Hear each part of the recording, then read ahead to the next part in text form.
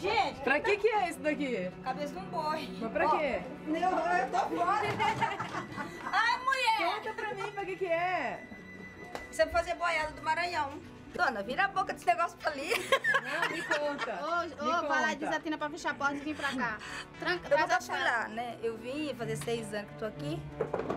E meu marido, todo ano ele fala assim, ah, esse ano que vem eu vou, mas nunca vai. Por quê? Ah, porque eu não quero ir. Porque lá é ruim. Lá tem cata de café e ranca de feijão também. A gente trabalha, mas tem o período do- da cata de café e da ranca de feijão também. Aí quando acaba, a gente fica sem fazer nada. Não tem o que fazer. Aí é por isso que o esposo da gente vem pra cá, por causa que não acha serviço, eles vêm.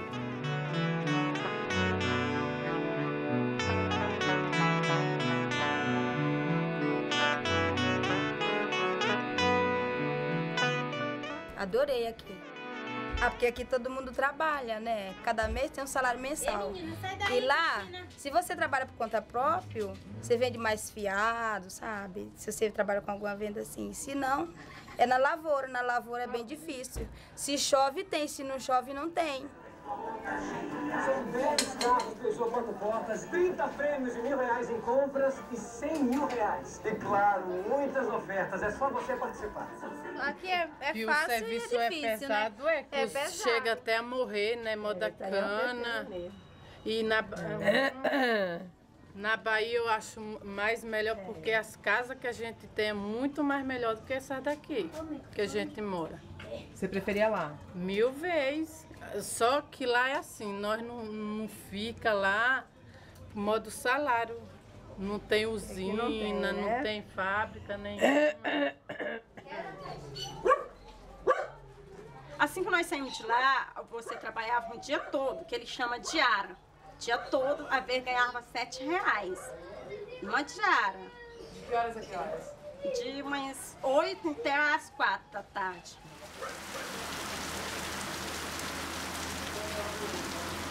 Ah, eu mesmo, quando eu nasci, eu sofri foi muito. Eu já passei muita fome na minha vida lá em Minas. Ah, o que eu passei lá em Minas, hoje eu tô rico aqui. Entendeu? Meu filho aí, ó. O que eu passei, meu filho nenhum passou. Nunca mais ouvi Maria, nunca mais ouvi o amor Quando na lembrança cor do vestido dela Eu tô doendo, tô cheio de saudade Meu amor, por caridade, bota o rosto na janela Eu tô doendo, tô cheio de saudade Meu amor, por caridade, bota o rosto na janela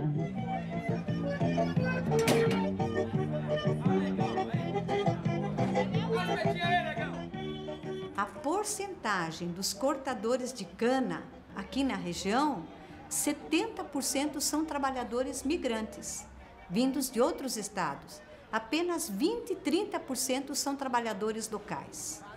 Os pais de família hoje não querem que um filho seu, uma filha, né, seja cortador de cana, porque na verdade não é uma profissão. Dificulta até para aposentadoria, porque são contratos por tempo determinado e a cada seis meses esse contrato se encerra. Quando nós chegou aqui, Guariba era pequenininho. Quando nós chegou. Depois foi crescendo. Chegando todo mundo de fora, foi crescendo. É todos fora, aqui é Maranhão, é Bahia. Aguenta andar? Você aguenta andar atrás de mim? Eu vou pra ali. Os paulistas que tem aqui, a maioria trabalha em indústria. E quase polícia nenhuma. Polícia aqui, quem vai chegando, vai Porque nascendo. os que nasceu aqui, a maioria, tudo é estudado, né? Tudo. Que não é muito bem estudado é que veio do mato, não é estudado. Acabou o limão! A maioria foi esses maranhenses aí que complicou tudo aqui, porque é muito homem vem de fora. Para ter uma ideia dessa migração maciça lá do Maranhão, nós tivemos em duas cidades lá, Codó e Timbiras. A cidade de Timbiras, por ocasião do Dia dos Pais, as escolas cancelaram a festa do Dia dos Pais. Não havia pais para serem homenageados. Que nenenzinho bonitinho, né? Não é bonitinho?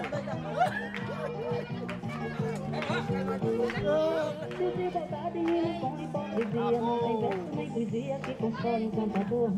A natureza na fumaça se mistura, morre a criatura e o planeta a dor.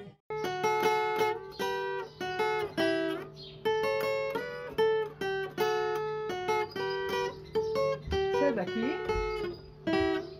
Sou de Minas. De Minas? Mas o senhor veio pra trabalhar na cana também? Cana. Eu cortei muita cana. É, e parou por quê? Ah, tô afastado agora, né? Problema de chaga.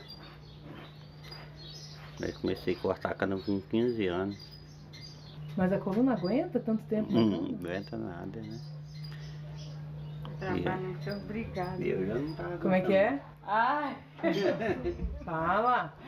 trabalha mesmo porque é obrigado.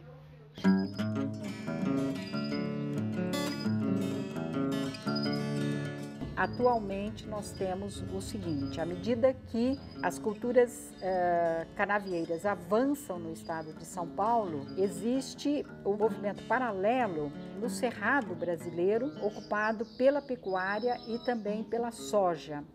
E esse movimento eh, eh, tem eh, provocado a- o desalojamento de milhares de camponeses, de eh, poceiros, de pequenos proprietários.